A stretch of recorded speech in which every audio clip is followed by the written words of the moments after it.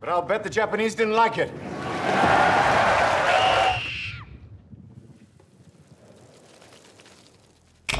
Christopher Nolan put his own daughter, Flora Nolan, in this shot as the most graphic victim that J. Robert Oppenheimer sees, as his previously contained inner quantum world finally explodes into his outer atmosphere. After eight years of analyzing hundreds of films, including those of this filmmaker, I have come to realize that all filmmakers, at the end of the day, only know how to tell one story, their own. And the deeper story of 2023's Oppenheimer, the most recent Best Picture winner, is a filmmaker realizing the horror of one of his own creations, something that could have, in his eyes, ignited a chain reaction that would bring about the end of his precious world as he knows it. By the end of this analysis, I promise to reveal to you what that Christopher Nolan creation was, and I don't know if you're ready for the answer. I'm Erik Voss, and this is The Deep Dive, the channel that dives deep into the films we love to find the hidden meaning no one ever talks about. In this second year of the Deep Dive channel, I'm picking back up with three of the videos I made in the first year, and for the next handful of videos, I will be focusing on the films of Christopher Nolan.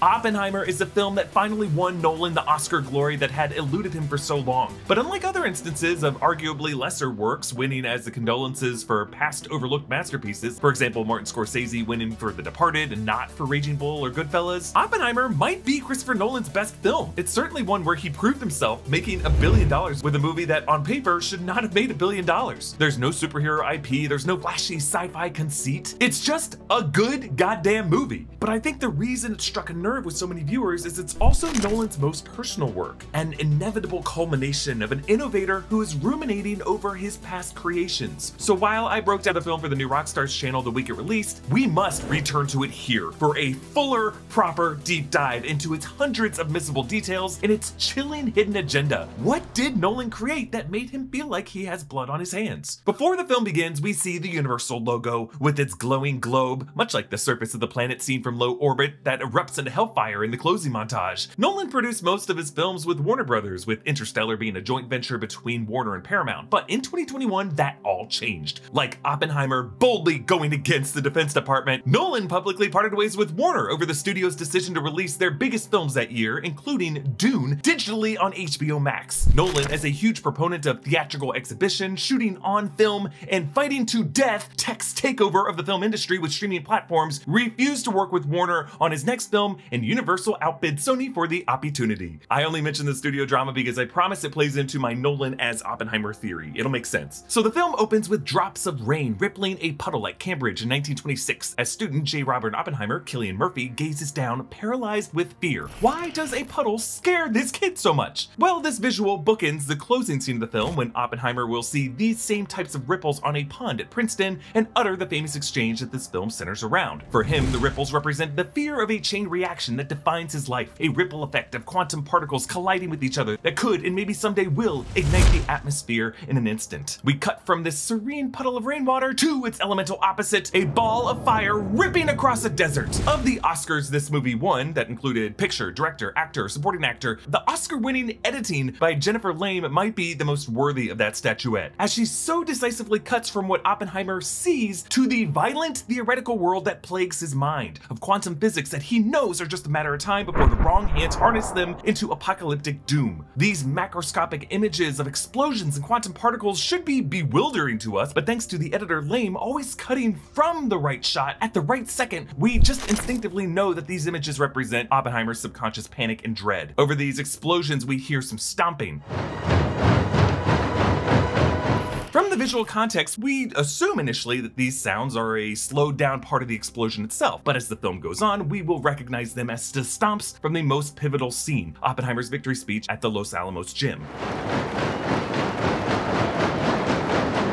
And so we can look at every moment of his life as one step and stop after another, leading to that inevitable moment of panic when Pandora's box has been opened. The opening quote is Prometheus stole fire from the gods and gave it to man. For this he was chained to a rock and tortured for eternity. This is a shortened version of a quote from Apollodorus that opens the 2005 book American Prometheus, A Triumph and Tragedy of J. Robert Oppenheimer by Kai Bird and Martin J. Sherwin. The full Apollodorus quote goes Prometheus stole fire and gave it to men, but when Zeus learned of it, he ordered Hephaestus to nail his body to Mount Caucasus. On it, Prometheus was nailed and kept bound for many years, every day an eagle swooped on him and devoured the lobes of his liver, which grew by night. This is the Greek mythological story of the Titan Prometheus, who famously stole fire from the gods and gave it to men, and has often been cited by pop culture to embody the theme of the danger and folly of human technology. Nolan shortens the quote here to make it more direct, less academic, more of a warning, and the kind of eternal death sentence that Oppenheimer might feel he deserves. The Bird and Sherwin book was first picked up by Christopher Nolan back in 2019, when, following the wrap on his previous film Tenet, Robert Pattinson gifted Nolan with a book of Oppenheimer's speeches as a nod to this moment in Tenet.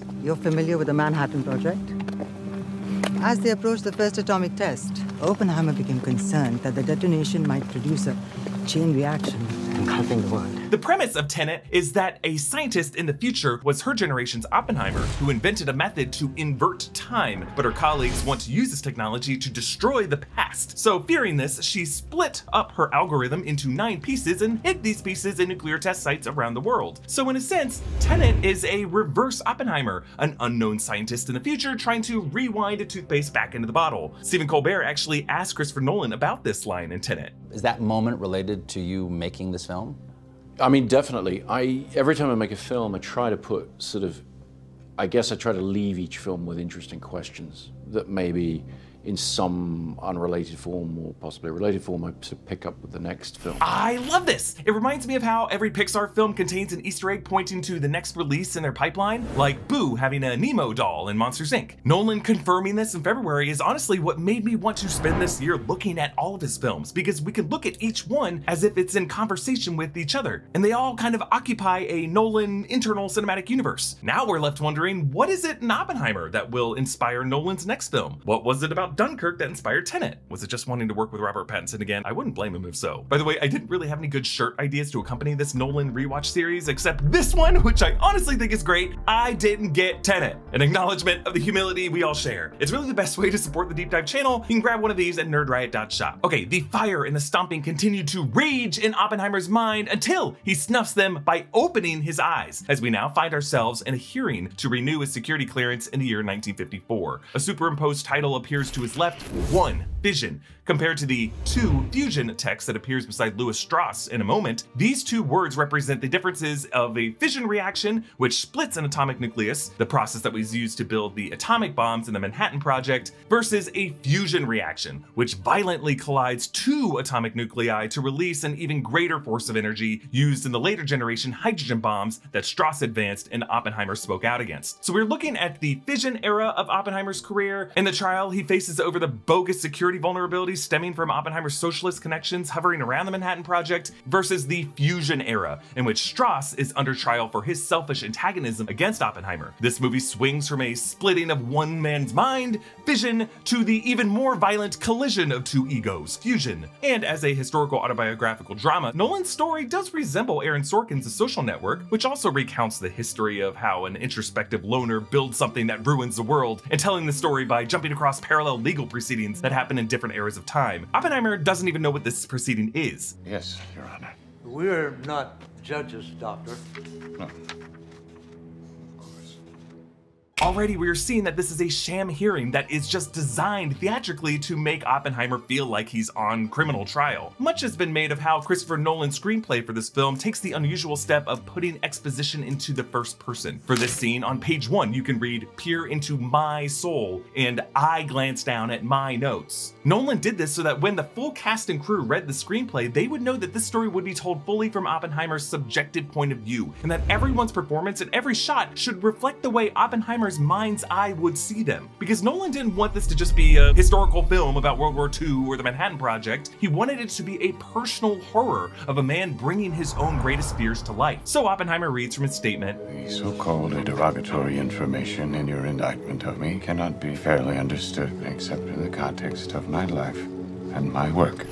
Oppenheimer both disputes that being called a former socialist amounts to properly derogatory, semantics that Kitty will later weaponize against Roger Robb, and tells us that in order to understand the bomb, we have to understand him. This subjectivity even affects the focus pull of this shot, creating this distortion effect on Oppenheimer's wife, Kitty, played by Emily Blunt, hidden in plain sight in the background, looking like a ghastly skull. She's right there in this opening shot, but the first time we watch this movie, we don't even realize it's Emily Blunt right there until like an hour from now. She's just this kind of visual ghost that haunts Oppenheimer from the shadows, the skeleton of the loved ones he has burned through his choices. Then we cut to Lewis Strauss in 1958, Robert Downey Jr., facing his own upcoming hearing to be approved as Commerce Secretary by the US Senate. Nolan shoots the Strauss focused scenes in black and white to help viewers separate the timelines of the film, but also as a device that he used in his 2000 film Memento, which we will get to on this channel. In Memento, the black and white scenes progress forward in chronology and represent objective, factual reality. The scenes in color regress backward in time and represent Leonard's subjective point of view, and we can't always trust exactly what we see. Similarly, in this film, we can look at Strauss's black and white scenes as cold objective fact, even down to his misreading of Oppenheimer's exchange with Albert Einstein. Because if you think about it, we didn't actually see any tea be spilled there. What did you say to him? The reality is there was no there there when it came to Strauss. But as he's asked about the Oppenheimer hearing by a Senate aide played by Alden Ehrenreich, Strauss gives this little tell when he shifts from posturing like he never thinks about the Oppenheimer hearing How long did he testify? Honestly, I forget. Well, I've only read the transcripts. to revealing that he clearly thinks about it every night. Are they really going to ask about it? It was years ago. Four years ago. Five. And I love this detail because while the hearing was in 1954, four years before 1958, for Strauss, the plot to destroy Oppenheimer's reputation actually began a year before that, when Oppenheimer had embarrassed him when they were both at the Atomic Energy Commission. So in this moment, this Senate aide realizes, huh, this actually was a far more personal feud than Strauss is letting on. And yes, Alden Ehrenreich had previously played Han Solo in Solo a Star Wars story, because every actor in this film, down to the supporting players, had appeared first on call sheets in their past projects. It's all A-listers here. And maybe it's just a superficial aspect by which to judge a film, but this was a movie literally everyone in Hollywood wanted to be a part of. So the Senate aide says, Senator Thurman asked me to say not to feel that you're on trial. Really, Mr. Strauss. It's Admiral. Robert Downey Jr. identified a key part of Strauss's character to immediately correct people on his name and title. Notice he does this later in a very important moment when it comes to Strauss versus Strauss. Mr. Strauss. It's pronounced Strauss. So for Oppie's 1954 security clearance hearing, Strauss deliberately set it up in this claustrophobic office space, and Nolan's team found a tiny, tiny office in Alhambra, California to force the actors into this cramped space so that they would be up in each other's faces and forced to sit just feet away from someone when they would be testifying against them. Roger Robb asks Oppenheimer if he was happier studying in Cambridge. I was troubled by visions of a hidden universe. I love this. The edit happens on the word invisible, so that just the word visible is replaced by this insert. Troubled by visions of a hidden universe. So Nolan faced an interesting challenge with this movie when it came to depicting the atom and subatomic particles without using any computer-generated visual effects. To do this, VFX supervisor Andrew Jackson, VFX producer Mike Chambers, and special effects supervisor Scott Fisher constructed a series of science experiments, they called them, in this tent that was off to the side of the set, involving magnetized beads spinning super fast, or shooting falling sand and bursts of water in slow motion, and IMAX even built them a special lens to shoot in macroscopic extreme close-ups. In the making of documentary, they show one of these apparatuses that spins beads in a basin over a magnetized sphere, causing them to collide chaotically so that at higher speeds they would have to cover it with a plexiglass surface. Their own devices were like little atomic bombs that could do damage. This is why it's important to have the script written in the first person. The effects team is inspired by this challenge to make something that should be an invisible hypothetical and render it real and tangible and messy and potentially physically painful. In their closed off tent, they were kind of like Oppenheimer's Los Alamos Manhattan Project, building something that had never been made before. All of this chaos is bottled up inside of Oppie's mind as he just looks at rainwater outside of a window. This impressionable American left his home to study the new physics of Europe, and the possibilities broke his brain so badly that he needed all of us to be broken too. On Oppie's pillow, notice his world is vibrating with that same chaos. Nolan used this effect throughout the film, and they accomplish this by taking a photo of the background surface from the angle of the lens and then projecting that same image with light upon itself and then just vibrating that light projector. But Oppie's inner chaos erupts into his outer world as he shatters the lab beaker. His teacher, Patrick Blackett, played by James D'Arcy, who plays Edwin Jarvis in the MCU, is gnawing on a red apple the moment he chastises Oppie, and as soon as they head off to Niels Bohr, another student replaces that red apple with a green apple. Green for Go poison your teacher. So Oppenheimer poisoning Blackett's apple with potassium cyanide is documented in American Prometheus, as well as another biography of Oppenheimer written by Ray Monk, A Life Inside the Center, and they're both referencing a number of Oppenheimer's real life friends who repeated this to them. But that second biography states that Oppenheimer relayed his story so many times in many different versions of friends throughout his life. Reportedly, Cambridge authorities found out about it and threatened to place criminal charges, and Robert's father intervened. But really, all we know for sure is that Robert Oppenheimer sought psychiatric treatment after this period of his life, as this movie also states. But we have to say reportedly about all this because Robert's grandson, Charles Oppenheimer, publicly disputes this ever happened. He calls the whole poisoned apple episode historical revision, and he says that it was just kind of like a humorous anecdote that J. Robert Oppenheimer would say to his friends, and that none of them actually took it seriously. However, Charles Oppenheimer praises Nolan's film, and I'm okay with Nolan including this anecdote, not just because of the numerous sources documenting that it did happen at Cambridge, but really because, like the shot of Black Gloves drowning Jean Tatlock later, Nolan is okay framing reality in subjective ways to tell a greater truth about the man, that there was a simmering chaos inside of him to use science to dispense violent justice, but that he's equally terrified of having that blood on his hands. And Nolan even leaves that apple in the close-up with a cyanide just dripping down the side of it, pooling on the desk, to show that for Oppie it wasn't really a premeditated act of attempted murder, but really just kind of an act of impulse against Blackett's relationship with his other ass-kissing pupils. Oppie's anger can really be understood as Blackett in this scene denying him a chance to therapeutically calm his nightmares, as Danish physicist Niels Bohr, played by Kenneth Branagh, is one thinker who can put into words what Oppenheimer sees in his nightmarish visions. Einstein's opened the door. Now we are peering through, seeing a world inside our world. Hearing his quantum physics visions aren't a form of insanity, Oppie finally is able to sleep at night, and he dreams remembering the stars over New Mexico and feeding his horse a what? Apple! so he rushes back to the classroom to dispose the evidence, and he meets Niels Bohr. Meet J. Robert Oppenheimer. What's the J stand for? Nothing, apparently. So the J actually does stand for something. It stands for Julius, Robert's father, but Oppenheimer would apparently go around insisting that the J stood for nothing. However, ironically, Robert's later political foe, Harry S. Truman, did use that middle initial of S, which actually did stand for nothing. Like another political foe, Lewis Strauss, he did make little adjustments to his name in order to put on a front and opportunistically move ahead in his career. So I'm sorry if it seems like I'm analyzing every line of this amazing movie, but this is a deep dive, so take a look at this. You ask the only good question. I heard you give the same At answer. Harvard, yes, and you ask the same question. I'd like your answer. Did you like it better yesterday? A lot. So I love this. The movie never states exactly what question Oppenheimer asked Bohr at both Harvard and Cambridge, but I'm wondering if it was something like, uh, Niels Bohr, could you modify your model to describe the behavior of multi-electron atoms and their spectral lines, considering the limitations of classical mechanics? Because Oppie would have attended Bohr's lecture at Harvard in October 1923, a year after Niels Bohr won the Nobel Prize in Physics in 1922. But this conversation at Cambridge would have been three years after that in 1926, and in those three years, a ton of advances had been made in quantum mechanics that would have further expanded Bohr's thinking in a specific way that would have settled Oppie's anxieties, and that's why he likes the answer better now. But Kenneth Branagh is not helping his anxieties in this moment because he gesticulates with his apple, threatening to bite it at any moment, driving Oppie crazy as he desperately lunges to bottle this weapon of mass destruction. Wormhole.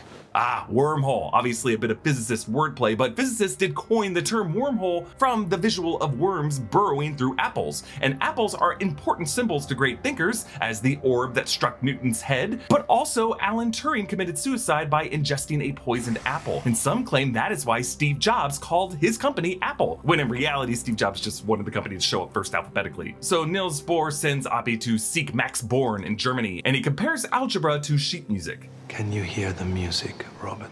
This brings us to this stunningly scored montage by composer Ludwig Göransson, who, with Nolan, selected the violin as Oppenheimer's signature instrument, as it is a tightly strung and nuanced instrument, sensitive in the way that it can make a beautiful sound in one second and then a frightening or sour sound in the next section. Göransson's wife, Serena McKinney, is a violinist herself and played the main melody that we hear. And during this montage, it really just lasts 1 minute 47 seconds. Göransson composed 27 separate tempo changes, so that literally it speeds up on average once every 5 seconds. And you can hear and apparently was agonizing to get this recording with the musicians in one continuous take, but they got it. We see Oppie opening his mind to art and literature, including T.S. Eliot's The Wasteland, which is a chaotic post-World War I allegory that explores mankind's continual destruction of cities, just like Oppie will end up doing. The poem actually begins with spring raindrops and then ends with a broken man standing alone on a shore as uncertainty looms and droplets of rain fall rhythmically around him once again, mirroring the opening shot and the closing shot of this movie. This poem is also known for its Sanskrit mantras, which likely would have inspired Oppenheimer's famous quoting of the Sanskrit passage in the Bhagavad Gita. But then we see Oppie staring at Pablo Picasso's Woman Sitting with Arms Crossed, which little continuity error there wasn't painted until 1937, like a decade after this, when Picasso was transitioning from surrealism to his post-war period. It's actually the same year he painted his famous Guernica mural depicting the Spanish Civil War. But this painting depicts Picasso's lover, Marie Therese Walter, who he started dating when he was 45 and she was 17 back in 1927, the year Oppie would be looking at this. Ugh, but you know, Oppie also had a um, philandering experience as well when it came to his lovers.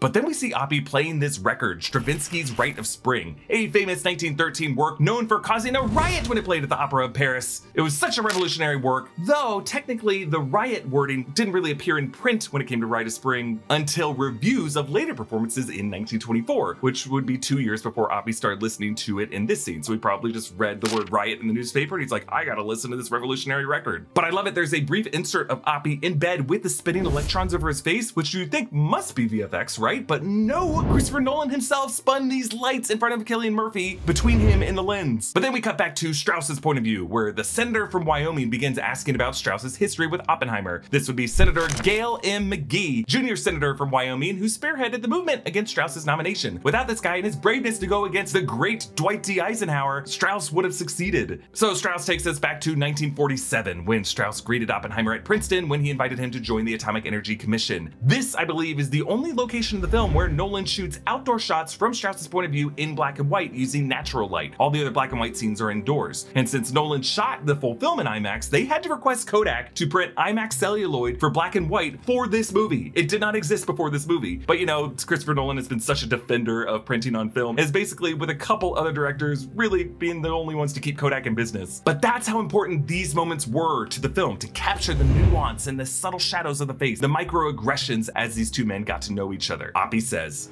Mr. Strauss, It's pronounced Strauss.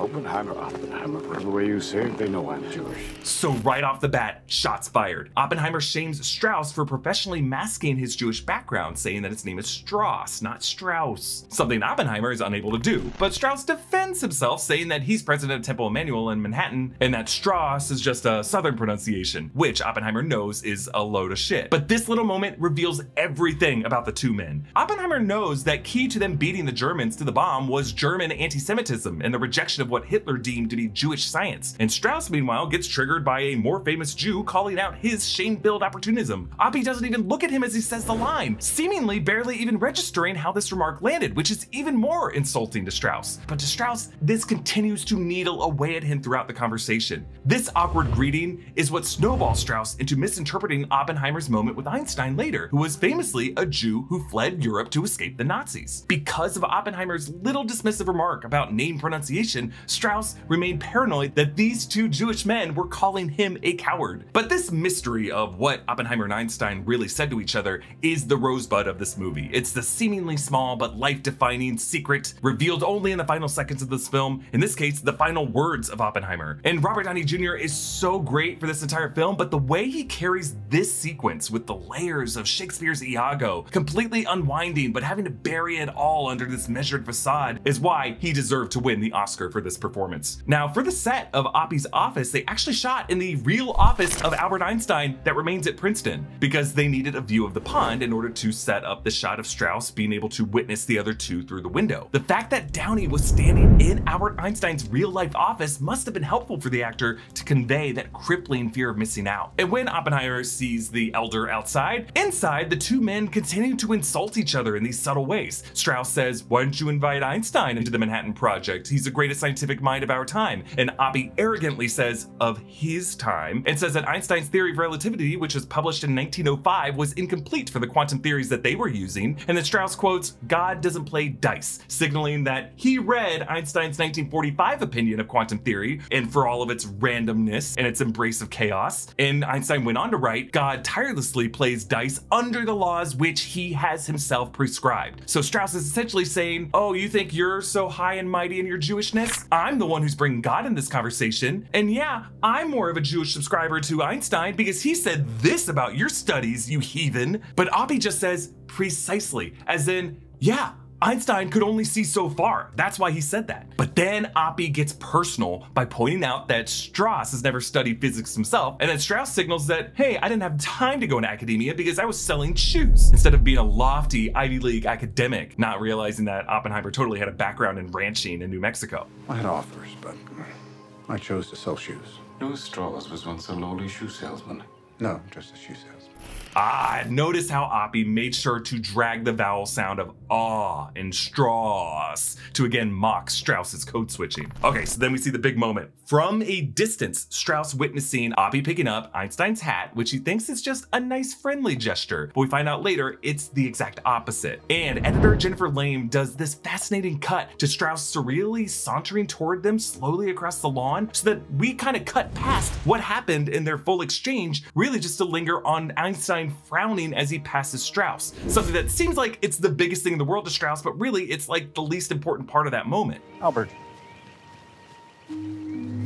What did you say to him? And even as Oppie is trying to move the conversation on, you can see Einstein's shrinking form framed between them in the background because Strauss cannot get over that little moment that clearly he made about himself. But really, the hat was not a gentle thing between colleagues who respect each other, it was a seizure of power and authority. That hat is a symbolic wardrobe item for Oppenheimer because his friend Rabi advises Oppenheimer to wear the hat at Los Alamos as the uniform of a scientist as opposed to a military man. And Oppenheimer rocks that hat as a statement piece ever since. Meanwhile, Einstein losing his hat from the wind and Oppie picking up for the old man represents Einstein losing his footing in the scientific community now that it is Oppenheimer's show. Really, there's a cinematic history to this gesture of having your hat blown off. Spielberg loved to do this shot. Christopher Nolan did it himself in The Dark Knight Rises. Really, it's just a way of showing characters kind of blown away by circumstances that they are no longer in control of, like being blown away by an atomic blast. So back in 1958, Strauss tells the committee that Oppie's left meanings hadn't worried him at first. Just then I was entirely consumed with what he must have said to Einstein to sour him on me. Yeah, the room laughs because what a silly thing to worry about. But Strauss is telling the complete truth. That concern did fully consume him, even now. We flash back to Oppie in Holland, where he's met by Isidor Rabi, played by the wonderful David Krumholtz. Hey, Yank. Lecturing on the new physics. This I have to hear. The bull seemed to an alpha delta at home. Wait, what's he saying? So reportedly, the Dutch that Cillian Murphy speaks here was first spoken by the movie's director of photography, Hoyt van Hoytema, who is Dutch and Swedish. And Cillian just tried to repeat what he heard, but Dutch-speaking viewers watched this scene and could not make sense of what he was saying and said it sounded more German. But if you listen closely, it does kind of sound like he's saying the words vision energy and hidden universe. Oppie gets distracted by rain on the train window as Nolan again spins light over it to form electron rings, and Oppie's seat vibrates from that projection effect we talked about. But Rabi offers him an orange. If you get any skinnier, we're gonna lose you between the seat cushions. Yeah, his seat is really vibrating from quantum energy, and Oppie's mind is sinking into this quantum universe. But the offering of the orange is not only a kinder fruit to offer compared to, say, a poisoned apple, but Rabi as a whole represents Oppie's Jewish mother, telling him what to eat, teasing him for not learning Yiddish, and then just kind of sensing that something is dangerous here. Ever get the feeling our kind isn't entirely welcome here? Physicists. It's funny. And Rabi is more correct than he realizes in this conversation. Hitler's rejection of quantum physics as Jewish science is the ultimate benefit that these men are able to exploit. So in Zurich, they watch Werner Heisenberg speak, and there is this really cool effect with the dialogue. One might be led to the presumption that behind the quantum world Yeah, he starts his line in German, but as he turns his head toward Oppie and Rabi, we hear him in English. He says his speculations are fruitless, again tying in that motif of apples and oranges, and how, while Heisenberg's Gentile approach will ultimately sink like a lead balloon, the Jewish advantage of Oppie's team is what ultimately bears fruit. This opening section of the film introduces us to names like Niels Bohr, Werner Heisenberg, men whose principles we studied in grade school science, really to show us that Oppenheimer's work was as fundamental to our lives as these other men's work was, and that all of these people's work was really just pretty recent within the past century. Rabi jokes about Oppie. He's pining for the canyons of Manhattan. Yes, to Rabi, Manhattan skyscrapers are like steel canyons, but also it foreshadows Oppie's work on the Manhattan Project in the canyons of New Mexico. Oppie takes a teaching job at Berkeley and meets Ernest Lawrence, played by Josh Hartnett, who incepts the all-important theme for Oppenheimer. Theory will get you only so far. Theory will only get you so far echoes back when these men read about the Germans' fission breakthrough. Theory will take you only so far. And when Hans Bethe finishes the calculations that they could blow up the world. Yeah, zero.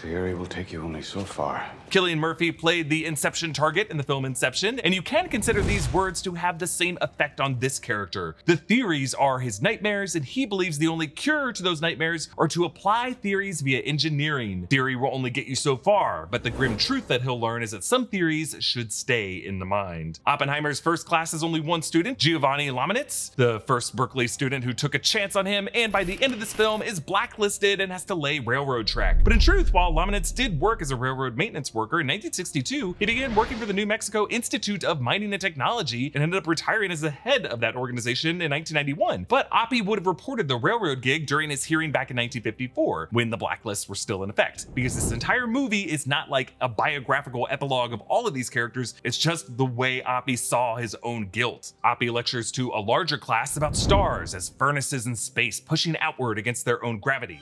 But if that furnace cools, gravity starts winning, it contracts. Density increases. It's a vicious cycle until what's the limit here?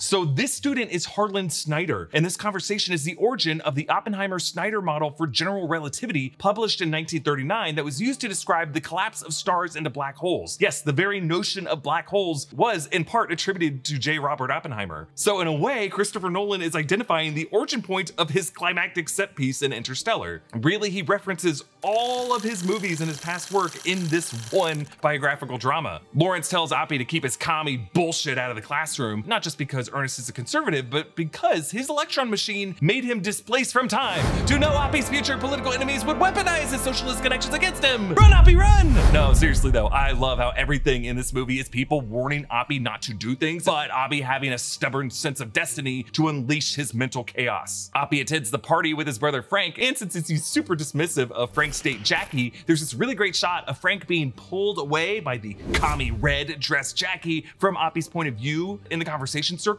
almost as if to show his brother being tugged out of his life by these political crosswinds. Chevalier is played by Jefferson Hall, who played the well-dressed man in the opening opera extraction of Tenet. He asks what Oppie's working on, and Oppie brings up his classroom conversation with Snyder. The bigger the star, the more violent its demise. Their gravity gets so concentrated it swallows everything. Ah, more foreshadowing to what will happen to Oppenheimer in his career. He reaches massive stardom, which sets him up for a more violent demise. Oppie meets Jean Tatlock, Florence Pugh, and flirts with her by saying he actually read Karl Marx's Das Kapital. Ownership is theft. Property. Property? Property, not ownership. I'm sorry, I read it in the original German. Yes, Oppie proves he can think in other languages, specifically think the way Germans do, which is also something he will apply later at Los Alamos. But the distinction between ownership and property reassigns the blame from the object to the subject, as in the existence of the weapon of mass destruction is not the evil, it's really the people who built that weapon and used that weapon that represent the evil. Really, all it takes is these two sweaty commies admitting that they like wiggle room in their views of the world, and bam! Christopher Nolan goes from a director known for cold, sexless stories to the only OnlyFans experience you could find on Barbenheimer weekend in July 2023, because those characters had no genitalia. I have all, all the genitals. Sensing that Oppie can only be turned on by academic eurekas, Jean goes to his shelf. You only have a shelf full of Freud? Well, actually, my background's more. Uh, Jungian? Yes, Oppie says Jungian with such disappointment, and I am obsessed with Cillian Murphy's line read on the word Jungian. So let's break down the four ways we can overthink this. One, the script at this moment moves on to Oppie's past psychoanalysis after his poison apple incident at Cambridge, hinting that he hated how ineffective Jungian analysis was during those sessions. Two, Christopher Nolan is obsessed with Carl Jung and concepts like the collective unconscious, archetypal symbols, and impulses that haunt the minds of every human being, regardless of cultural background. These were especially key to Christopher Nolan's Dark Knight trilogy, for which Cillian Murphy appeared as Dr. Jonathan Crane, aka Scarecrow, in all three of those films, who weaponized Jungian archetypes. So in a sense, Cillian Murphy is saying, ugh, not Jung again, Christopher. Three, Carl Jung also once famously said the following late in his life, which applies to Oppenheimer's predicament pretty specifically. Quote, man is bound to follow the exploits of his scientific and inventive mind and to admire himself for his splendid achievements. At the same time, he cannot help admitting that his genius shows an uncanny tendency to invent things that become more and more dangerous because they represent better and better means of wholesale suicide. Nature may anticipate all our attempts by turning against man against his own creative mind, and by releasing the H-bomb, or some equally catastrophic device, put an effective stop to overpopulation. In spite of our proud domination of nature, we are still her victims as much as ever and have not even learnt to control our own nature, which slowly and inevitably courts disaster. I mean, that's kind of Oppenheimer in a nutshell, right? But for this could just be a sex thing, right? As Freud was a psychoanalyst far more interested in sex, and so for Jean Tatlock to have a shelf full of Jung instead of Freud, Oppie could just be disappointed that she's lost interest and he's not getting any. And I feel like Christopher Nolan and Carl Jung would be proud of me overthinking this one word line read. But actually, the sex is just beginning because Jean finds Oppie's Bhagavad Gita, sensing that he's learning Sanskrit to help himself make sense of the world in any language possible, and uses that academic kink to trigger a different eureka. And now I have become death. Destroyer of worlds. And we cut out the shot in the middle of that phrase because this is YouTube. But in between those phrases, Jean totally reaches down below frame and, you know, puts Oppie in position, so to speak. Now, of course, this translation would go on to be what J. Robert Oppenheimer famously quoted in his 1965 NBC documentary, which this film and various historians interpret as both Oppenheimer's shared regret over his invention and his sorrow for what ended up happening to Jean Tatlock. Now I am become death, the destroyer of worlds. Oppie, Frank, and Lawrence camp in New Mexico. Little break before dawn. Air cools overnight. Another bit of foreshadowing. A storm will sweep this land in the hours before the Trinity test, but Oppie then will also instinctively know when the storm will pass and keep us cool. So back at Berkeley, word gets out that the Germans have successfully produced a fission reaction, splitting the uranium nucleus by bombarding it with neutrons. The chemical reaction of fission parallels the interpersonal fission Oppie goes through in this part of the film, torn between his academic ambitions and his sparks for Jean Tatlock and the socialist sympathizing that comes with that. He attends an FAECT meeting where the commies chant his name. The pleasure he takes in this validation from his liberal arts colleagues sets up his desire to get the same response from his STEM colleagues later on at Los Alamos, but that cheering room will terrify him ultimately. Oppie and Hartland Snyder's black hole theory gets published, and it is true that their third paper was published on September 1st, 1939, the same day Germany invaded Poland and ignited World War II. So truly, all of Oppie's academic advances in quantum theory occurred with the backdrop of an anti-Semitic existential threat. We learn how Oppie met Kitty, and for the first first time, Emily Blunt comes into focus behind Oppie in the hearing room. And whereas Oppie needed to quote Marx to flirt with Jean, and ultimately have to use Sanskrit to get going, Kitty proves to be the truer partner for Oppenheimer by letting him flirt in his own language. Forces of attraction strong enough to convince us that matter is solid. Kitty understands that for Robert, quantum mechanics are what give the vast emptiness a physical human weight and touch. In New Mexico, Kitty tells Oppie about her past husbands, including the socialist who's really the point of Oppie sharing this memory, because remember, this is subjective. So Emily Blunt has to play this part just a little bit extra in her dismissiveness of socialist idealism, because this is really Oppie telling the board his wife's leanings were just tied in with this fling marriage of a guy from Youngstown who died fighting in the Spanish Civil War. My husband offered both our futures to stop one fascist bullet from embedding itself in a mud bank. That's the definition of nothing. Seems a little reductive. Pragmatic. Ah, notice how a few scenes later, when Lawrence tells him that his left leanings are keeping him from being asked to join the Manhattan Project, the same word comes back. Because you're not just self important, you're actually important. I get it. If you could just be a little more pragmatic. Pragmatic. He echoes the same word Kitty told him for why she left the party. So in the middle of these scenes, Oppenheimer breaks up with Jean after getting Kitty pregnant and getting her to leave her current marriage, suggesting that he doesn't really care about this scandal in their academic community. So Jean warns, Don't alienate the only people in the world that understand what you do.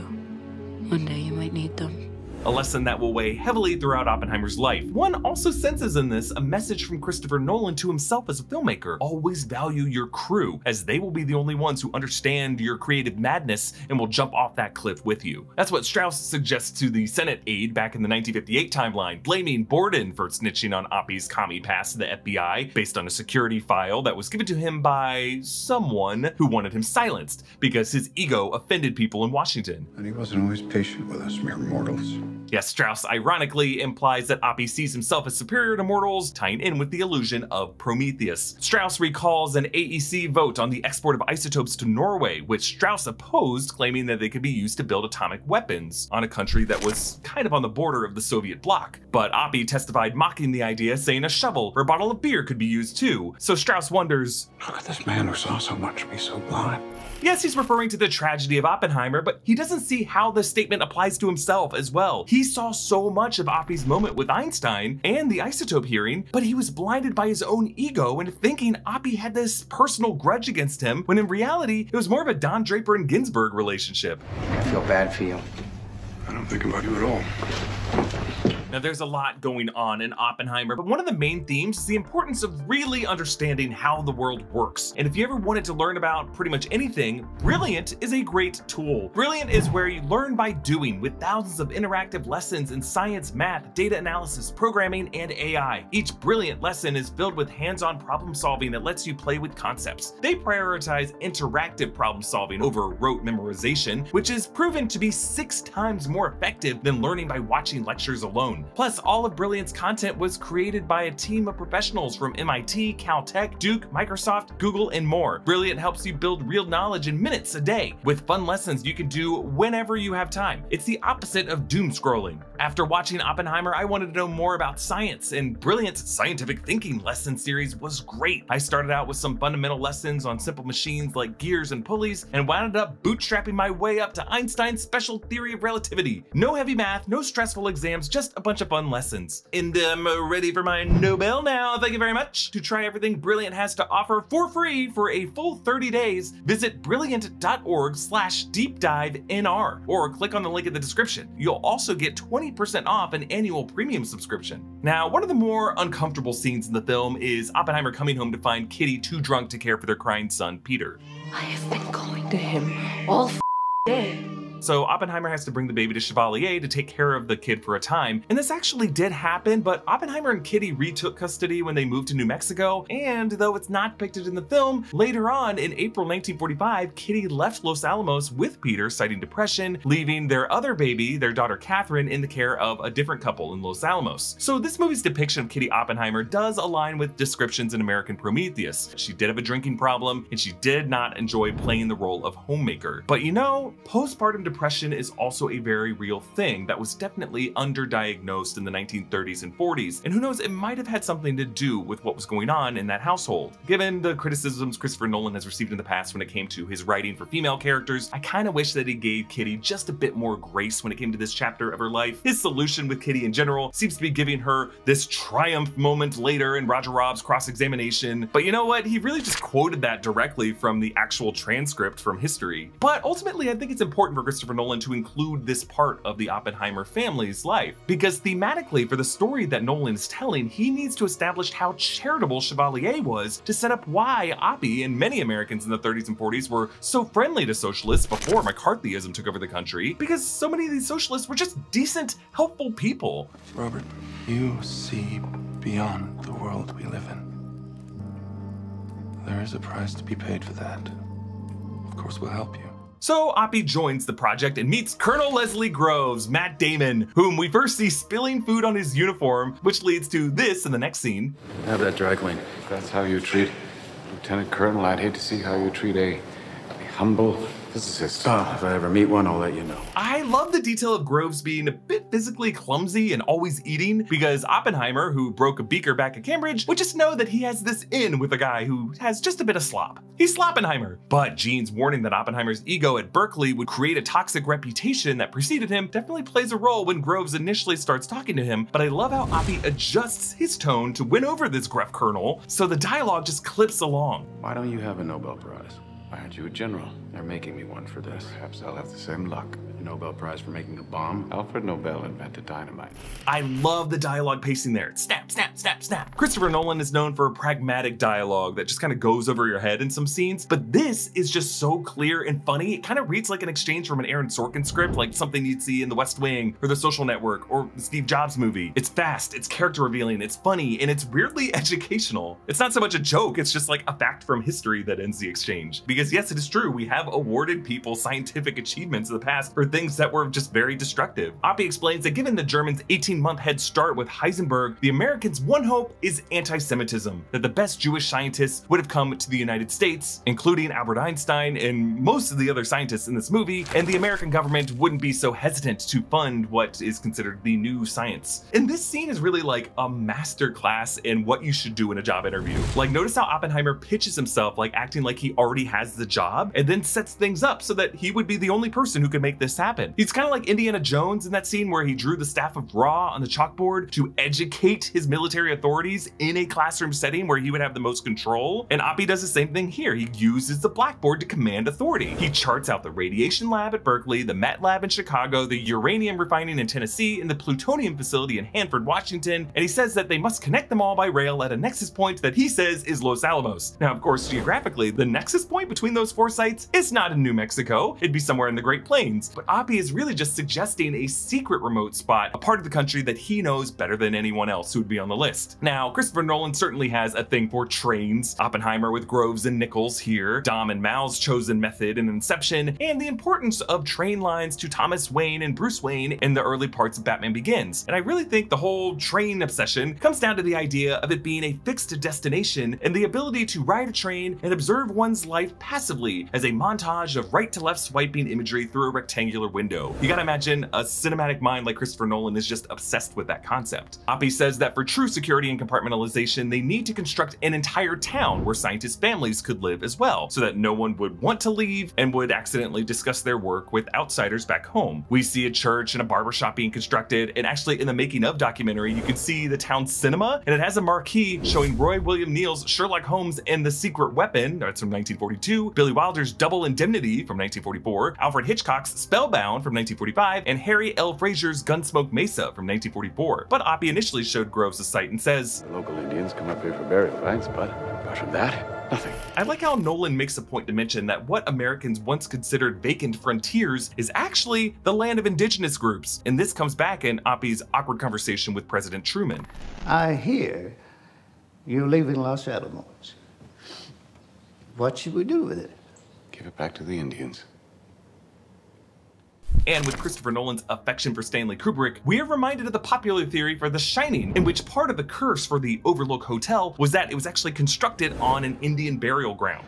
The site is supposed to be located on an Indian burial ground, and I believe they actually had to repel a few Indian attacks as they were building it. Which lead to crazy theories that come up in the Room 237 documentary that the entire film is really a metaphor for the unresolved bloodshed of indigenous tribes by white settlers. I think it's a very valid interpretation of the film, actually. And I think it's fair to say that this idea runs through Oppenheimer as well. Like, what makes Oppenheimer's project and Truman's use of the bomb even more craven is the fact that they had to irradiate sacred land in the process. A montage shows their recruiting of various physicists from around the country, first to Harvard, meeting Kenneth Bainbridge, played by Josh Peck, yes, from Drake and Josh, and he looks way older in this shot, and Donald Hornig, played by David Rysdahl, then to Princeton with Richard Feynman, played by Jack Quaid from The Boys and several other roles. I'm telling you, everyone in this film was top of the call sheet in something else. And then to MIT, where they meet scientist Edward Condon, played by Olli Haskivi, who played Dr. Wilfred Nagel in Marvel's The Falcon and the Winter Soldier. He's the one who Matt Damon just loses it at. How about because this is the most important thing to ever happen in the history of the world.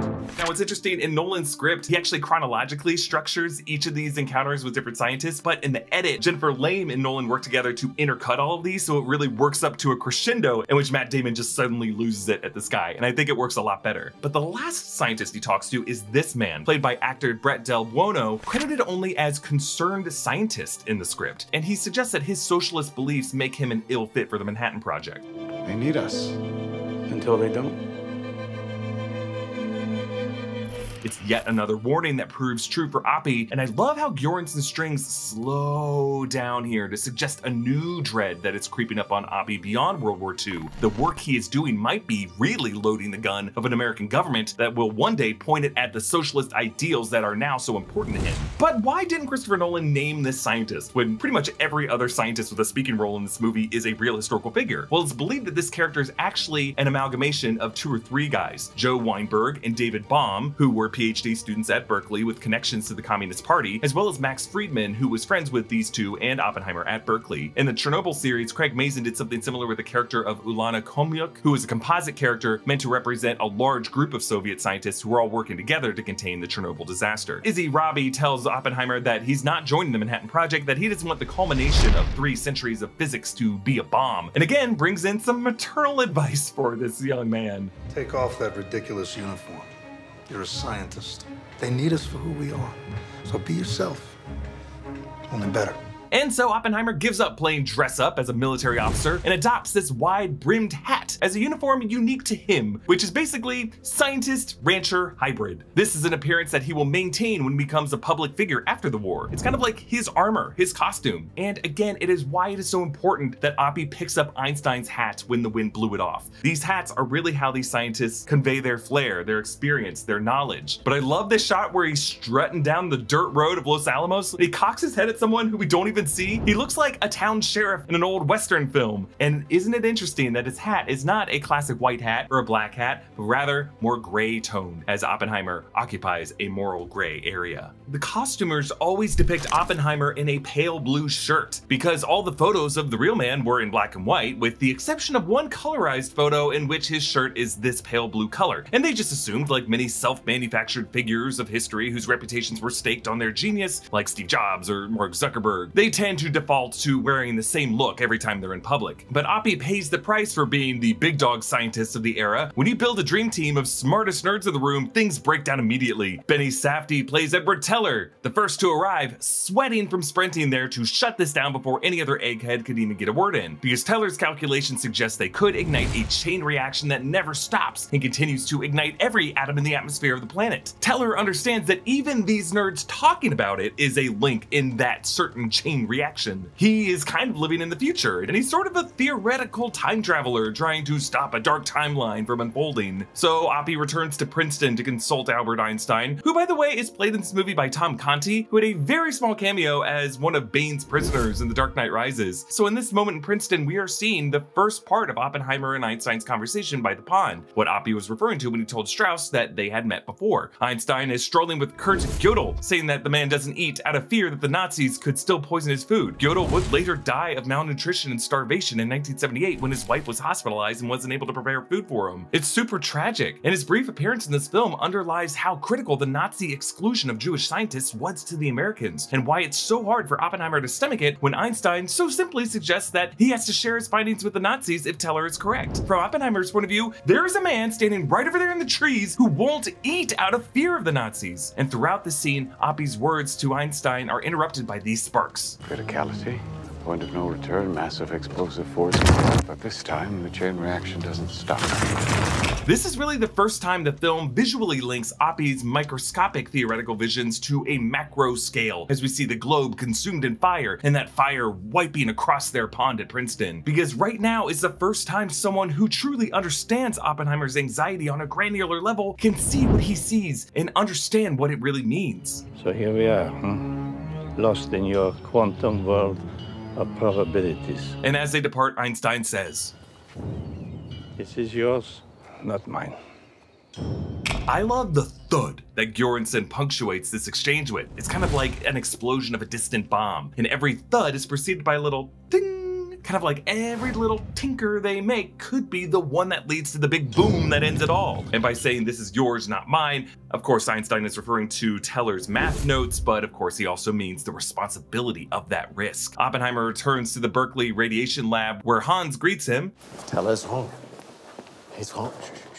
Now remember, this is a subjective account that Oppenheimer is telling the security clearance hearing, so of course he would include how he was sure to shush Hans until they were in a secure room. Hans says that the chances are near zero, which of course is more anxiety inducing than if they were at like say 20%. So then we get to the night of the dreaded Chevalier incident. We missed him. Hmm, you want to adopt?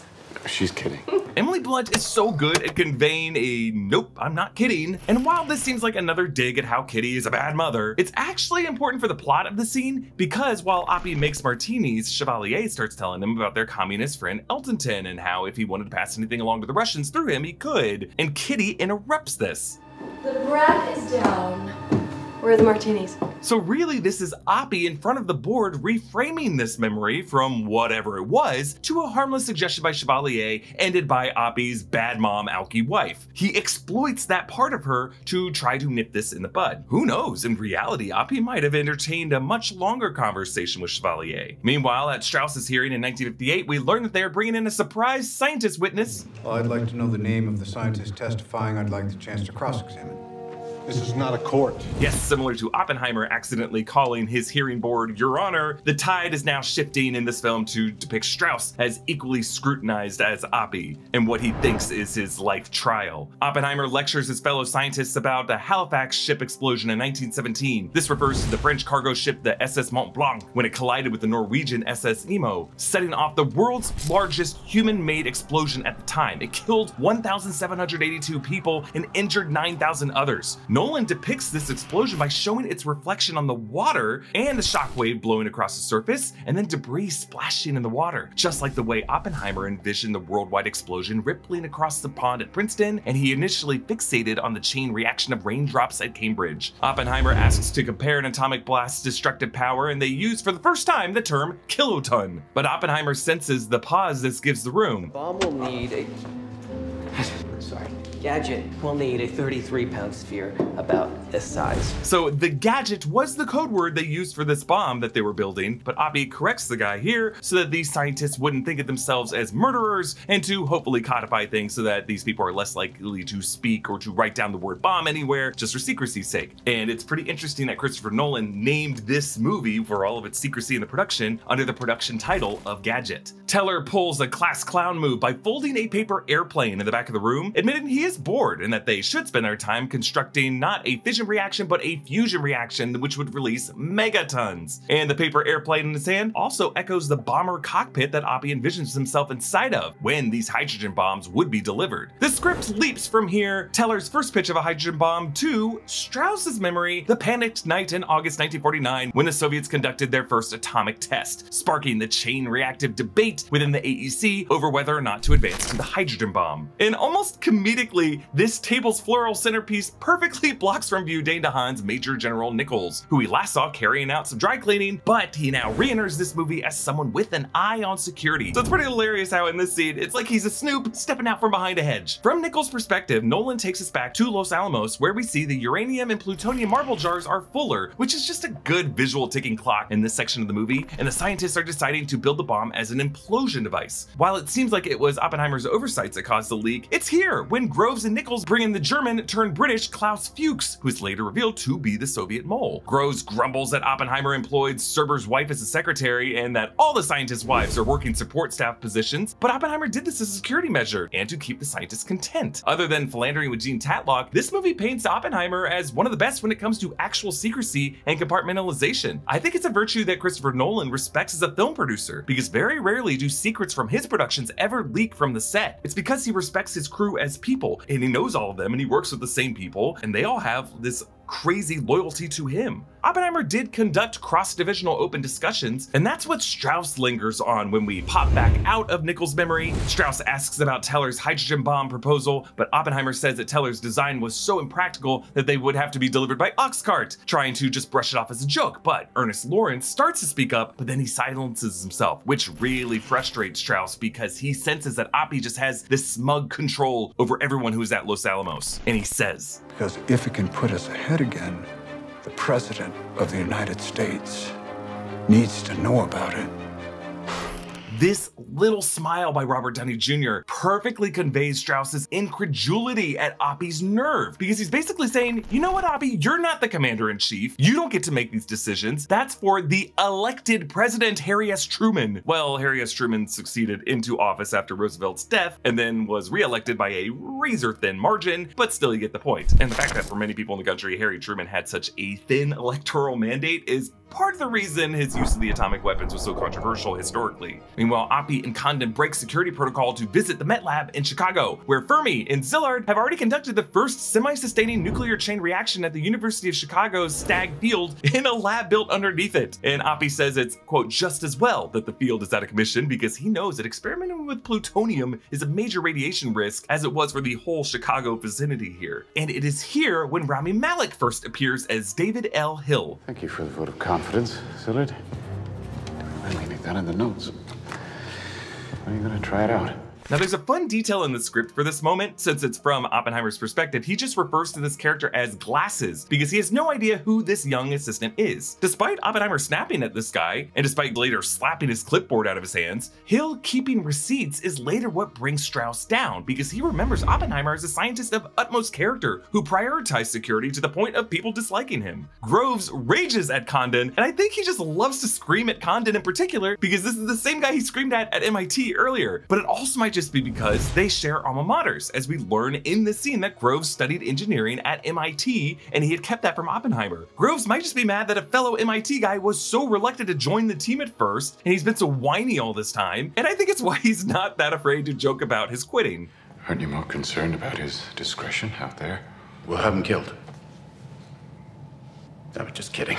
And I just love how in the middle section of this movie, it works as its own mystery story. Who was the leak? Was it Condon who quit? Was it the Berkeley commie Lomanitz when Lawrence had brought him to Los Alamos? Was it Oppie himself with his ties to Jean Tatlock and Chevalier? No, it was Klaus Fuchs, who Groves and Nichols brought in. But Dane DeHaan's panicked finger pointing when he's playing Nichols in 1949 just really keeps us side-eyeing everyone at this part of the film. Oppie confronts Nichols about Lomanitz getting drafted, but after learning it was because Lomanitz was trying to unionize the radiation lab in Berkeley, he backs off and promises to shut that down. And then suddenly, huh, what do you know? Nichols says his Q clearance has come through, almost as if it was up to him the whole time. Oppie uses this to visit Jean Tatlock in San Francisco for a hotel hookup, and here the film shifts to one of its most memorable shots, where Christopher Nolan glides behind Roger Robb's head to reveal Oppenheimer suddenly naked in this hearing room. When I first watched this movie, I noticed Kitty's eyes suddenly on her husband on the other side of Robb's head, and I thought the film might have been shifting to her point of view. But if you read the script, it really is still through Oppie's eyes here. The exposition reads, I am naked, and Kitty watches Tatlock also naked, straddle me, head on my shoulder, facing Kitty. So what we are truly seeing is Oppenheimer's anxiety imagining what might be running through his wife's mind. And what's also pretty creepy is that Oppenheimer would be 11 years older than he was when he and Jean last had sex, but Florence Pugh is still playing Jean at the age of her death. So it's like a guy in his 50s screwing a much, much younger woman. And here the stomping sound effect comes back.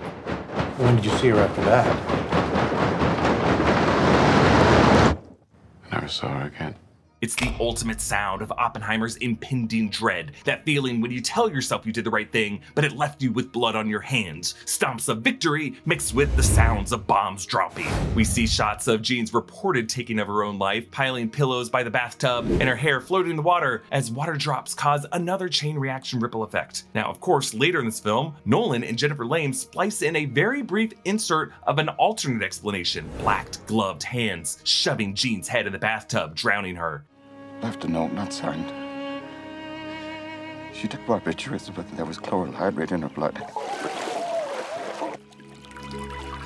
It is crazy that Nolan put this in the movie, because over the decades, various researchers, journalists, writers, and Jean Tatlock's brother Hugh have speculated that she could have been deliberately murdered by the government to keep Oppenheimer focused on his research. They've looked at things like the toxicology report, the general anti-communist effort against Oppenheimer, but others have looked at her suicide note and felt, well, there's like specific literary references that only Jean and Oppenheimer would have shared. But Nolan frames this shot in Oppenheimer's point of view as a way of saying that this is just a possibility that Oppie considered, but by including the shot in the movie at all suggests that Nolan thinks this theory is plausible. So Oppenheimer stops by the Berkeley office of Lieutenant Johnson to ask about Lomanitz, but also just to casually warn him about Chevalier's guy, Eltenton. And this ended up being a big mistake. Oppenheimer's trying to look like a goody goody boy and an anti-communist, and by doing so, he exposes himself politically more than he ever was. But a crazy detail about the scene, notice the desk lamp. When Oppie returns the next morning, the lamp has been swapped out with a new lamp, now that Colonel Pash has joined them. They swapped the lamp because this one has a listening device device in it. And throughout the scene, you can notice Johnson shifting around it, and at one point he reaches beneath the desk and you know he's turning it on. We see them installing this listening device later, with Pash sitting in the background when this recording comes back to haunt Oppenheimer later during the Q clearance hearing. Now, casting Casey Affleck as Pash is such a good move, not just because he's like an A-lister to hold our attention through a procedural but necessary sequence to establish how Oppenheimer stepped in shit by trying to give them Eltenton without giving them his friend Chevalier. Casey Affleck brings a quiet intensity to the role of Pash and lets Matt Damon, as Leslie Groves in the other scene, talk about Pash's violent reputation. Matt Damon and Casey Affleck were buddies in Good Will Hunting, bragging about each other's rap sheets, so we keep waiting to see a cutaway of Casey Affleck torturing someone, but instead we stay trapped in Oppie's point of view in this room with this quiet psychopath. Back in 1954, Pash reveals that he was transferred to London by Groves, and Oppie in the background looks surprised. He is just learning this now. How much Groves saved his ass during this period. So at the Christmas party, Oppenheimer is paranoid about Tolman suddenly missing. Tolman's been away. Where? Ruth won't tell. Yes, J. Robert Oppenheimer also had an affair with Tolman's wife, Ruth Tolman. And remember that name, Tolman? That's terrible because earlier Groves said that Tolman was the only person who said anything nice about Oppenheimer. It's like Oppenheimer was determined to make the one guy who thought he had integrity hate him like everyone else does. I think Carl Jung might have been right about humanity's self-destructive tendencies. But Groves delivers a Christmas present, the extracted Niels Bohr, who made it out of Nazi-occupied Denmark. Bohr informs them about Heisenberg leading the German bomb project he seemed more focused on heavy water. As a moderator? Yes, instead of graphite. He took a wrong turn. This really cinched their victory over Germany, because graphite is really what's best to moderate a nuclear reaction, not heavy water, and Bohr warns Oppie about how the bomb will change the world after the war is over. You are an American Prometheus, the man who gave them the power to destroy themselves and they'll respect that. Christopher Nolan works in a reference to the Kai Bird and Martin J. Sherwin biography, but if Oppie knows his mythology in this moment, he knows the punishment that Prometheus suffered also awaits him being compared to one of the most tortured figures in mythological history by his academic hero, coincides with Oppie getting the call about Jean Tatlock's death. He tells Kitty how they found an unsigned note, and Christopher Nolan includes one shot of her letter with the cursive trailing off as if written by someone fading from an overdose. And then, of course, the alternate theory of the black gloved hands drowning Jean Tatlock. But one detail I just noticed these hands and the wrists look a bit slender as they pull up from her neck, like a woman's hands maybe these hypothetical government agents would have used a female assassin so that the note would have female handwriting. Or maybe Christopher Nolan could have gotten real layered with this one. And in Oppie's imagination, it was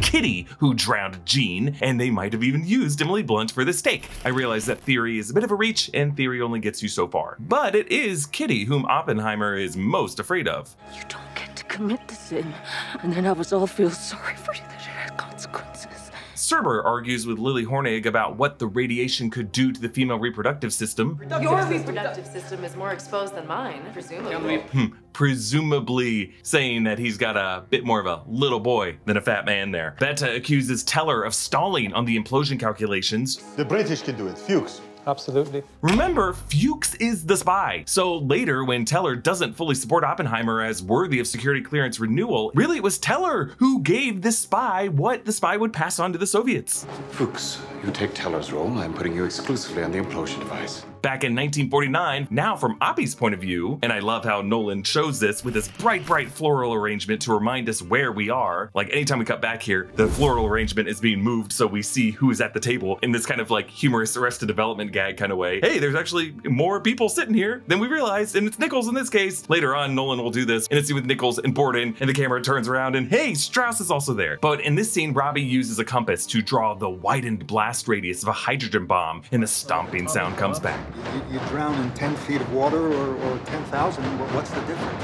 We can already drown. They know. Thou will drown us. Hmm, the word drown, as Oppie's feeling like he is drowning in the stomping. And we see the stomping origin here because now in 1949, for Oppie, this would have been a memory from four years prior in 1945. During the scene, Oppie sees water rippling on this map of world cities as he mentally connects his pond ripples to the fire that could drown millions in an instant. Oppie meets William Borden, David Dastmalchian, who shares a memory of being a pilot in World War II and seeing V-2 rockets headed for England, worried about an enemy rocket carrying an atomic warhead. Let's make sure we're not the ones to make that possible.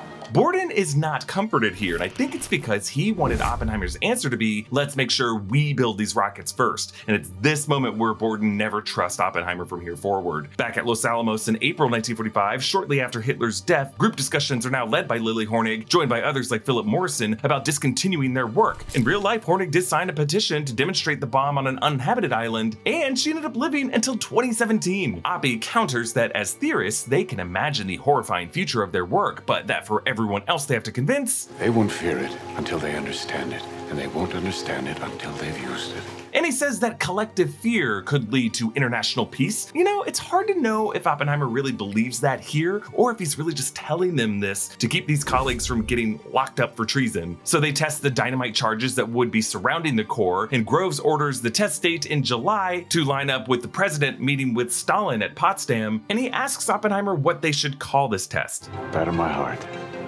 Three person God. Trinity. So this is a quote from a devotional poem by John Donne, and this is the origin of the codename Trinity, which is sourced from a 1962 letter sent from Oppenheimer to Groves. It said, I did suggest it. Why I chose the name is not clear, but I know what thoughts were in my mind. There is a poem of John Donne, written just before his death, which I know and love. From it, a quotation, as east and west in all flat maps, and I am one, are one. So death doth touch the resurrection. In another better known devotional poem, Donne opens, Batter my heart, three personed God. And according to Gregg Herken's 2002 book, Brotherhood of the Bomb, it was Jean Tatlock who introduced Oppenheimer to the poetry of John Donne, and Oppenheimer might have named it Trinity as a tribute to Jean. Roger Robb criticizes Oppenheimer for bringing in his commie brother Frank to help survey the land. And you felt your judgment was sound on who on the team could be trusted. Fuchs, head down. And after Robb brings up the spy at Los Alamos, we cut to the spy, Fuchs, being told to put his head down because this spy wanted to see the device with his own eyes so that he could report to the Soviets what this implosion device would look like. Okay, moving on to Washington, Secretary of War Stimson discusses the Tokyo firebombs that killed 100,000 Japanese, mostly civilians, and Fermi says, The A-bomb might not cause as much damage as the Tokyo bombings. And then notice how Lawrence pats his leg just to shut him up because he knows that this will just confuse the politicians in the room who might now think, wait, do we have to drop two or three of these things then? So Oppenheimer describes how one device can emit a pillar of fire 10,000 feet tall, deadly neutrons in a mile radius. The atomic bomb will be a terrible revelation of divine power. Divine power, as in Prometheus stealing fire from the gods. And Secretary Stimson takes a possible target off the list. I've taken Kyoto off the list due to its cultural significance to the Japanese people. Also, my wife and I honeymooned there. This is actually one of the most controversial lines in the film because actor James Remar actually improvised the bit about Stimson honeymooning to Kyoto. It is not true that Stimson honeymooned there. He did visit the city in 1926. So you'll notice at this point, Christopher Nolan has stopped jumping around to different timelines and he just stays in Los Alamos in July 1945 up until the blast of the Trinity test, up through the actual bombings in August and the aftermath of it. It's because Christopher Nolan knows that this is really the most like straightforward cinematic part of the movie and he doesn't want to lose the audience by jumping away from it. So the gadget is installed in the tower and rigged with charges, and Oppenheimer tells Kitty, I'll send a message. It's gone our way. So he says take in the sheets not just as a random code phrase, but also take them in so that they don't collect radiation from the fallout. The making of documentary reveals that they actually used Kitty and Robert's actual house in New Mexico for these scenes. There's a last minute storm, but Oppenheimer, who grew up in New Mexico, is confident that it will break before dawn. But as they wait it out, Groves asks Oppenheimer about those side bets that the scientists were placing on atmospheric ignition. Are we saying there's a chance that when we push that button, we destroy the world? Chances are near zero. Near zero. Yes, Oppenheimer waited to tell Groves this part of the science until they had to go forward with the test. It was unavoidable. Teller smears sunscreen on his face while Feynman turns down a welder's glass to look through. The glass stops the UV. But stops the glass. So Feynman, who would later become kind of a rock star physicist in his own right, was reportedly one of the few in attendance who saw the blast without any eye covering. Teller, though, is always thinking about the greater destructive impact beyond the step everyone else is currently on. Like this guy's thinking full fusion and hydrogen at this point, and he's just like, hey, this could be a 10 kiloton blast or like a 100 kiloton blast. I'm putting on sunscreen. Ludwig Göransson scores the buildup with these frantic violin strings, and Bainbridge confirms. But I love that his voice is drowned out by the strings as Oppenheimer barely heard him because his anxiety and his anticipation is overwhelming him in this moment. We see a quick series of cuts where Bainbridge's fingers are trembling like crazy over the button and then flinches and pulls back the hand before settling it in four, three, two, one. And I always love it when screenplay documents perfectly structure the pages so that you turn the page right on the moment you're holding your breath. And I just gotta take you through Nolan's verbal descriptions of this one page on 132. My breath stops, an agonizing instant before, silent light. Full bright noon sunny daylight. Robbie sees sudden daytime, turns to the light, peers through the welder's glass at blinding, silent white. Lawrence is stepping out of the car as Feynman shuts his eyes against instant daylight, a hushed intake of breath from the crowd of sunglasses clad distant observers. All we can hear is my tremulous breathing as the light becomes less blinding, resolving into a fireball, bright as the sun, but giant. I yank off my goggles, watch the boiling plasma become more visible in its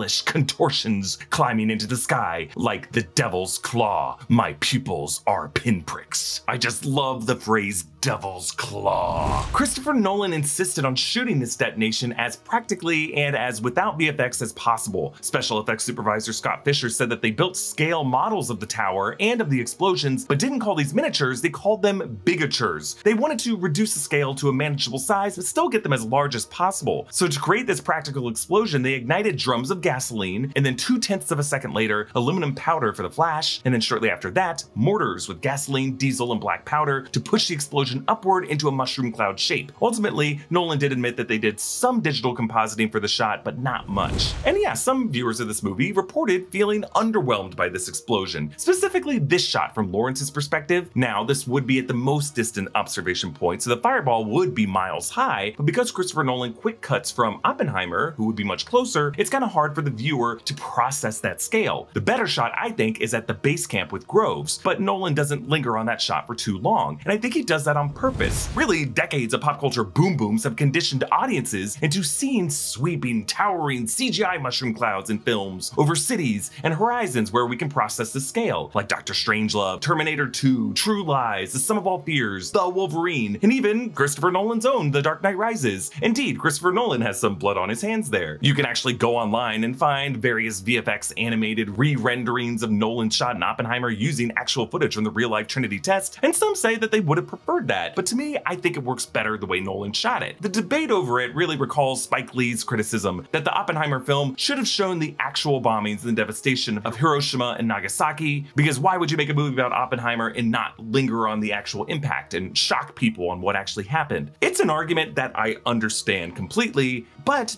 also, this is not a documentary. That is not the story Christopher Nolan is telling with this film. By withholding a master shot of the visual spectacle of the Trinity test, Christopher Nolan grounds us within Oppenheimer's perspective. Because think about it, terror as a concept is not a beautiful Steven Spielberg glory shot. Terror is a chaotic flurry of just being blinded in the moment and not knowing where to look. What makes this scene great is not the visual spectacle of it. It's not a shot that like John Ford would approve of. It's Oppenheimer's shaken reaction to it all, the silence except his breathing, and the helplessness that this edit makes us feel. And yes, really, this whole moment is defined by what we hear and what we don't hear. And aside from the silence, this is all Oppenheimer says. And now I am become death.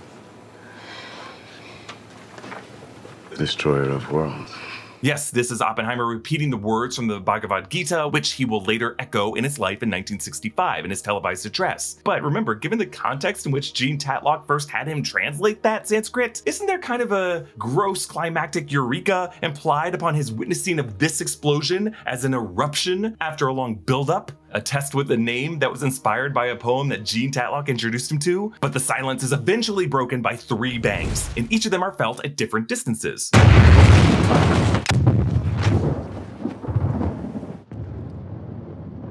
On the script page, Nolan textualizes these as crack, followed by three groupings of exclamation points. So Oppie tells Serber to call Kitty,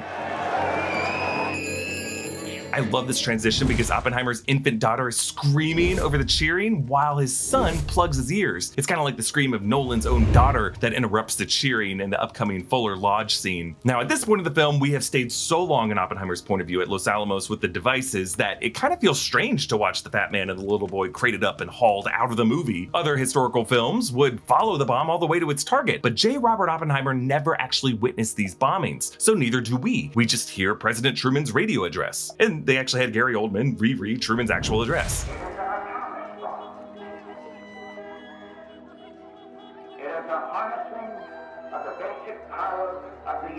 So the stomping we've been hearing throughout the movie finally reaches their origin in the Fuller Lodge sequence. And think about it, these would be the loudest sounds Oppenheimer would hear on August 9, 1945. The stomps and the shouts that he will forever associate with the people who died on that day. Oppenheimer says, But I'll bet the Japanese didn't like it. Oof, the woman in the red dress mouths woo, but we hear a little girl scream. And now silence overtakes the room, as Oppenheimer actually did in his speech. He says that he wishes they had in time to use against the Germans, which now seems like an easy applause line that Oppenheimer uses to try to turn the sound back on in his head, but it does not work. It just gets worse. A flash of white fills the room, and bam, Christopher Nolan includes a close-up of his own daughter, Flora Nolan, with her skin peeling off. As I said at the top of this analysis, this is a deeply personal story for Christopher Nolan. He told The Telegraph, quote, if you create the ultimate destructive power, it will also destroy those who are near and dear to you. I suppose this was my way of expressing that in what, to me, were the strongest possible terms. Before Oppenheimer realizes it, he's now just suddenly walking through the crowd, suggesting that he blacked out for the ending of his speech. He hallucinates stepping in a charred corpse. He sees a couple making out under the bleachers, an indicator of the baby boom that the United States would soon be going through after the war. There's a blonde woman in the stands who was laughing uncontrollably before, but now when he looks at her is sobbing hysterically. And Oppenheimer passes a guy outside who's vomiting, and we don't know if it's from drinking too much because we saw liquor being passed around, or if it could be Oppie hallucinating someone with radiation sickness. So months after this, Oppenheimer meets President Truman in the White House, which occurred in October 1945. This actually would have been after Oppenheimer saw Serber and Morrison's slideshows of the imagery that they took at the bomb sites. So I love the attention to detail in this Oval Office set. Truman's desk is not the ornate Resolute desk made from the wood from the HMS Resolute from Queen Victoria that was installed in the Oval by Jackie Kennedy and used to this day, but it's actually the planar Hoover desk that was there during the administrations of Herbert Hoover and Franklin Roosevelt. So Oppenheimer annoys Truman right from the start. What we did at Hiroshima was. And Nagasaki. Obviously. Yes, Oppie doesn't want Truman to minimize the fact that there were two cities that were flattened. Truman asks Oppenheimer what they should do with the Los Alamos site. Give it back to the Indians. So in the script, Truman was supposed to laugh at this moment and then realize that Oppenheimer wasn't joking. But I like that Chris Nolan used this particular take from Gary Oldman because this way we wouldn't get any of the annoying accidental laughs in movie theaters that would like be laughing along with Gary Oldman.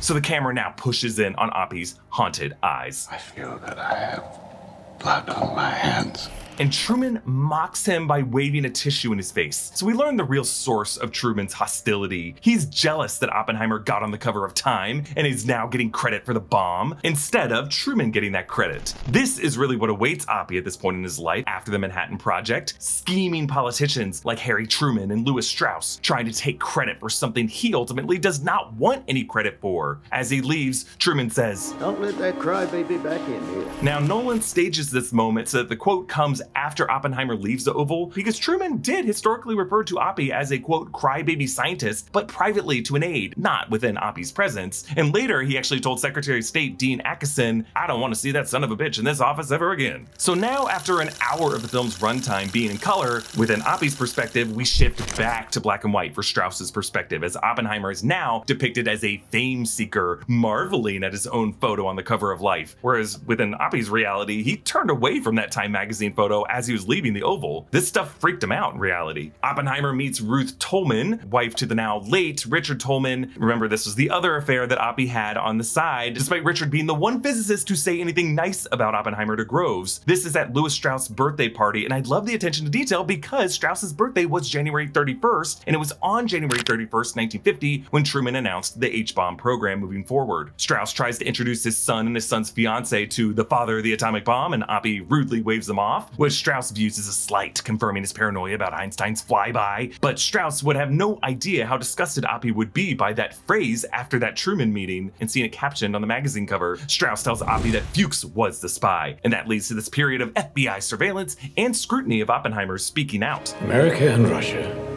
may be likened to two scorpions in a bottle. So this speech would have been given in July 1953 and would have been one of the final speeches as a government official before losing his Q clearance. We see Oppie attending a lecture by Serber and Morrison, who had visited the bombing sites in Japan. The uh, Japanese spoke of people who wore striped clothing upon whom the skin was burned in stripes. This is a true detail, and for Oppenheimer, a particularly chilling one. He got into all of this because of what Hitler was doing to European Jews, including putting them in humiliating striped uniforms. Now, his actions permanently burned stripes onto the skin of Japanese civilians. Teller complains how some British scientists said that the bombings were not the last act of World War II, but really the first act of a Cold War with Russia, and he cites it to who? Patrick And Oppie remembers his salty Cambridge professor biting an apple, probably wishing, damn, maybe I should have let him eat a poisoned one. While it was a 1945 Time magazine that was Oppie's nagging undoing, now it's a 1958 Time magazine that's a smoking gun for Strauss. The Senate aide reads the quote, fought Oppenheimer in the US 1, which Strauss had pitched as an angle the day before, which confirms that Strauss has been manipulating all sides of this. It was Strauss who choreographed Nichols to not let Oppenheimer keep a copy of the report that denied his clearance renewal, and that Oppie would only get one if he appealed it, which forced Oppie into this rigged hearing. Roger Robb and the board could refuse to share the Pash recording, since this isn't technically a criminal prosecution, it's just a matter of national security. Can we hear this recording? You don't have the clearance, Mr. Garrison. But you're reading it into the record. Please, please. Is this proceeding interested in entrapment? Yeah, notice that additional glance that Jason Clarke as Roger Robb gives to Oppenheimer. This is why every actor being a heavy hitter pays off in this movie. The whole point of this legal nonsense is just to prod Oppenheimer into an outburst just like this. And really, that was the point of many of the communist witch trials in the 1950s. Robbie defends Oppie at the hearing, but apparently Strauss told Lawrence about the affair with Ruth Tolman. And when Lawrence arrives to testify against Oppenheimer, Robbie just stares him down like a mother saying, Don't you dare hurt my boy. But it's not enough. Robb brings in Borden to read his damning letter, and Oppie sees the stenographer tapping it into the transcript, the fingers drumming just like the stamping feet, and Oppenheimer laments. Is anyone ever going to tell the truth about what's happening here? But history provides an answer. Dr. David Hill in 1958, who drops a David H bomb on Strauss. The Oppenheimer matter was initiated and carried through largely through the animus of Lewis Strauss. So despite Oppenheimer swatting Hill's pen, refusing to sign his and Szilard's petition, never even knowing who he was beyond the name Glasses, according to the script, all of these scientists collectively know that Oppenheimer over these years has tortured himself enough to not deserve this public martyrdom to benefit the political rise of some asshole. And I love this detail. Notice that from the first day of Lewis Strauss's hearing to now with Dr. Hill, the audience in the room has grown considerably larger. While Kitty resents Oppenheimer for his affairs, of course, she hates his craven political foes even more. And I've believed this since I left the party 16 years ago. But 17 years ago. My mistake. But you said... Sorry, 18. Yeah, she's totally toying with Robb just to piss him off. And by counting up the numbers, she's kind of making it feel like this hearing alone has dragged on for a year. No, two years. No, three years. So the screenplay actually places Teller's testimony after Kitty's, which would then lead to Kitty snapping at Oppenheimer for shaking Teller's hand, saying that she would have spat in his face. But editing it the way it is makes it so that Kitty's testimony is last, resulting in this next scene hitting differently. Why put yourself through more of it? My reasons. Yeah, Oppie's real reasons are, at least in part, to fix his relationship with Kitty, because Kitty won't let him back down. Also, of course, the fact that he hopes that being a martyr will be some self-punishment that he deserves and that history may finally forgive him. So Roger Robb's final interrogation crescendos into a fiery rage as the room fills with light of a nuclear blast, but a blast that only Oppenheimer can see because he's the only man in the room properly worried about it. And Oppenheimer is so distracted by this, he ends up making Robb's point. If we did it, they would have to do it. Our efforts would only fuel their efforts just as it had with the atomic bomb. Yes, Roger Robb says no moral scruples in 1945, plenty in 1949. And Gray, played by the wonderful Tony Goldwyn, calmly asks really what is the big question in this movie? Dr. Oppenheimer, when did your strong moral convictions develop with respect to the hydrogen bomb? And Oppenheimer gives us an unsatisfying answer when it became clear to me that we would tend to use any weapon we had. So we, the viewer, no doubts were felt in fall 1945 when he saw the bomb impact photos and when he talked to Truman. But what was the inflection point before 1949? It was the big scene of this movie, 1947, right in the middle. Whatever he and Einstein discussed the big mystery that Strauss reminds us about in his montage. And the aide even teased him up before he releases Strauss to the wolves. Is it possible they didn't talk about you at all? Is it possible they spoke about something uh, more important? So Oppie is denied his clearance in 1954, Strauss is denied by the Senate in 1958. There were apparently three holdouts led by this guy. Kennedy. John F. Kennedy. Actually, the other two Democrats who voted against Strauss also sought the presidential nomination Lyndon B. Johnson and Hubert Humphrey. All three wanted to score some political points by dogpiling on the asshole who went after a national hero and a peace preacher. Kennedy, of course, would later steer the country through the Cuban Missile Crisis, and it is LBJ at the end of the movie who gives Oppenheimer the Fermi Award in December 1963. That was literal weeks after Kennedy was assassinated. So this movie circles back to the pond. We're finally gonna get our answers. Einstein foretells Oppenheimer's future at the White House in 1963. Pat you on the back, tell you all is forgiven. Just remember, it won't be for you, it'll be for them. So Teller's advancement of the hydrogen bomb and his failure to fully defend Oppenheimer in 1954 gets him this icy response from Kitty. It would be Teller's fusion that would dominate the 20th century from here on out. And while Oppenheimer is polite, Kitty knows, as someone who shares a bed with Robert, how haunted he is every night. So as we see Strauss approaching in the distance, Christopher Nolan finally delivers this movie's Rosebud. We thought we might start a chain reaction that would destroy the entire world. I remember it well. What of it? I believe we did. He says, we did. Not I did, we did. If Einstein had felt any relief in his later years that maybe Oppenheimer would now be the sole sin eater for taking Einstein's research too far, no, no, no. Oppenheimer drags the old man back down with him into his quantum pit of despair. With four words, he incepts the idea we open this Pandora's box together, my friend. We've both stolen fire from the gods, and both of us will now have to torture ourselves for eternity.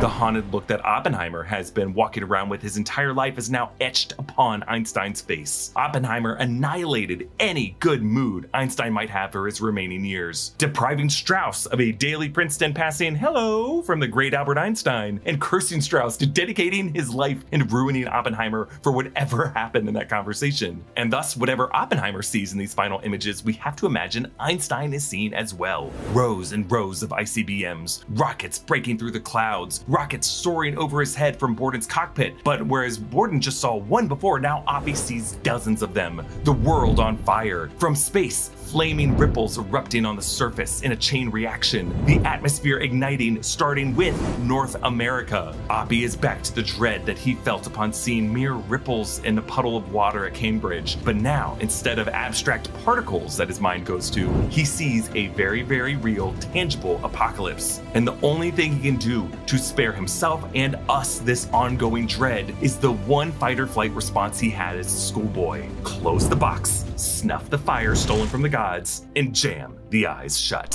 So, what does Christopher Nolan shut his eyes to? What chain reaction did he start that set the world on fire? Why is the story of Oppenheimer something that is so close and personal to something that Christopher Nolan has gone through in his life and career? Well, think about it. If J. Robert Oppenheimer's inventions concerned nuclear fission, Christopher Nolan's inventions obviously concern the process of filmmaking. So, what inflection point, what Pandora's box has been to Hollywood with the atomic bomb was to geopolitics and humankind? The advent of the talkie with the jazz singer yeah. The arrival of summer blockbusters with Jaws? Definitely. The VFX revolution with Jurassic Park? Yeah, I would say so. But Christopher Nolan's contribution to that chain reaction?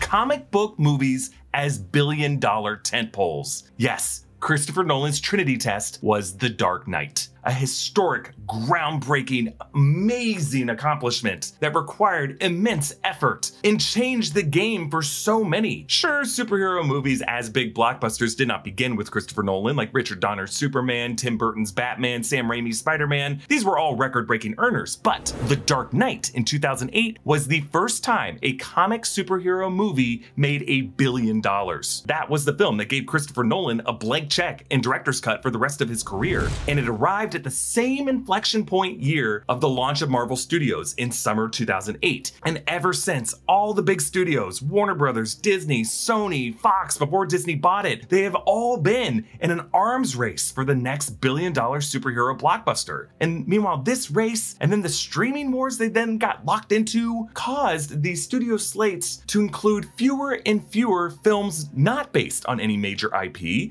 And now those are the only types of movies Christopher Nolan seems to want to make now. Now, sure, I don't think Christopher Nolan wakes up every day regretting The Dark Knight because it led to Madame Web. Christopher Nolan probably feels proud of the movie and he deserves to. It was an amazing film. But I think he would agree that Hollywood, the studios, all learned the wrong lessons from what he accomplished with The Dark Knight. And I just think it's very revealing that with Oppenheimer, Christopher Nolan insisted on doing everything practically, even when it would lead to a lesser boom. He made a movie as long as Avengers Endgame, but made it as a historical drama with artsy memento style color effects and still made nearly a billion dollars with it and then swept the Oscars. And he did all this with Iron Man. Oppenheimer is Christopher Nolan trying to fix everything film lovers have hated about Hollywood since 2008. So I'll leave you with this. One burden of all creators, honestly, is success. Something you make taking off, generating money or power or influence for entities you didn't anticipate, reaching corners of the world and the internet you never knew existed, and yet your name always being attached to it and being blamed when future generations curse its existence. And after, what has it been,